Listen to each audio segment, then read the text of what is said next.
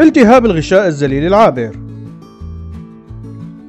يحتوي مفصل الورك كجميع مفاصل الجسم على بطانة تفرز سائل يساعد على تزليق المفصل تسمى الغشاء الزليل.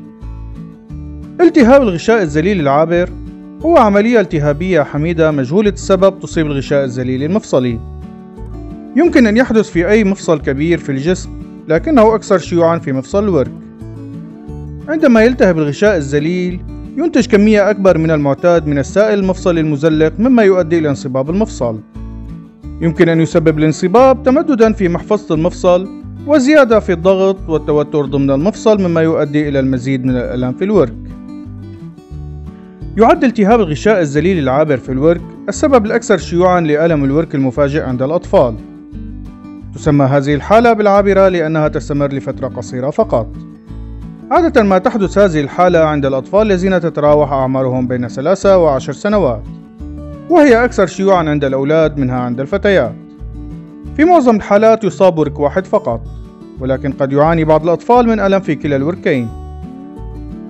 لا نعرف السبب الدقيق لالتهاب الغشاء الزليل العابر في الورك.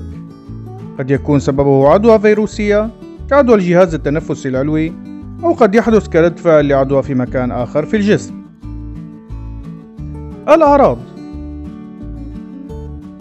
الأطفال الذين يعانون من هذه الإصابة يظهرون بحالة عامة جيدة بشكل عام. العرض الرئيسي هو الألم في مفصل الورك الذي يتطور بسرعة. عادة ما يتحسن الألم خلال النهار ويمكن للطفل أن يمشي وهو يعرج في وقت لاحق خلال اليوم. عندما يشتد الألم بما فيه الكفاية قد يرفض الطفل تحميل الوزن على الطرف المصاب. قد يعاني بعض الأطفال من ألم على الوجه الداخلي للفخذ أو حول الركبة بدلا من منطقة الورك. العديد من الأطفال الذين يعانون من هذه الحالة يفضلون الاستلقاء على ظهورهم وإبعاد الورك وتدويره للخارج. هذه الوضعية تخفف من شدة الألم. يعاني بعض الأطفال المصابين من الحمى لكنها عادة ما تكون خفيفة. التشخيص تشخيص التهاب الغشاء الزليل العابر هو تشخيص بالنفي. مما يعني أن التشخيص يتم بمجرد استبعاد الأسباب الأكثر خطورة لألم الورك الحاد. سيسأل الطبيب عن أعراض الطفل ومتى ظهرت. سيقوم بإجراء فحص سريري دقيق.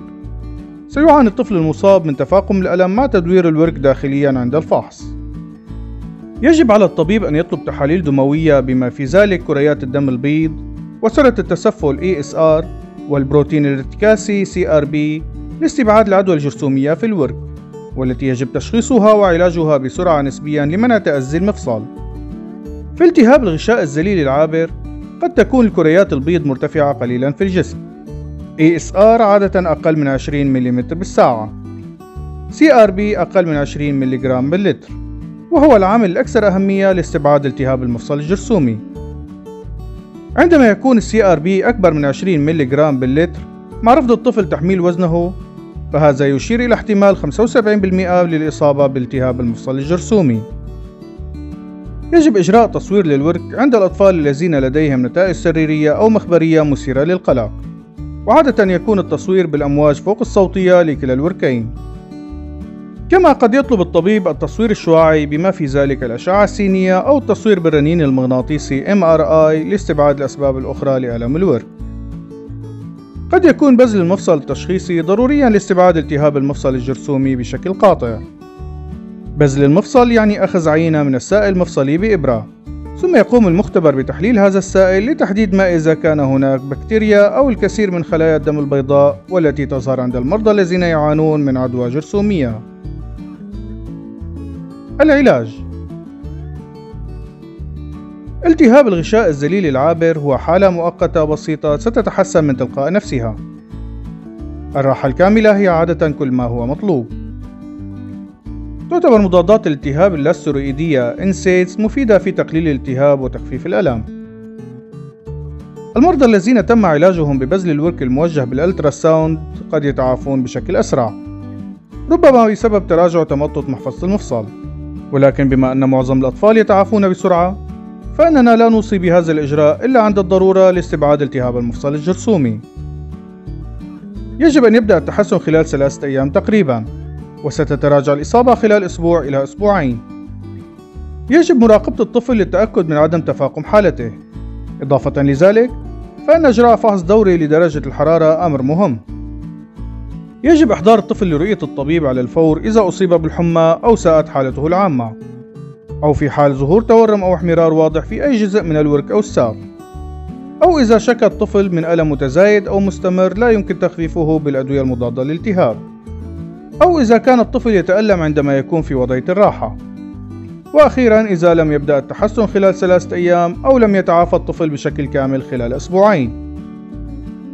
بعد زوال الألم يمكن للطفل استئناف أنشطته المعتادة. يجب ألا يشارك في أي نشاط رياضي قاسي لمدة أسبوعين بعد الإصابة. الإنذار. عادة ما يكون الإنذار ممتازا مع توقع الشفاء التام لكن هناك احتمال نكس وتكرار الإصابة فيما يقرب من 20% من الحالات. قد تتطور نسبة صغيرة تصل إلى 10% من الحالات إلى مرض بيرس مع نخر لا وعائي لرأس الفخذ. لأن الضغط ضمن المفصل بسبب الانصباب يمكن أن يؤثر على تروية رأس الفخذ الدموية. للتأكد من أن كل شيء يسير على ما يرام قد يرغب الطبيب في إجراء أشعة سينية بسيطة أخرى لورك الطفل بعد ستة أشهر تقريباً.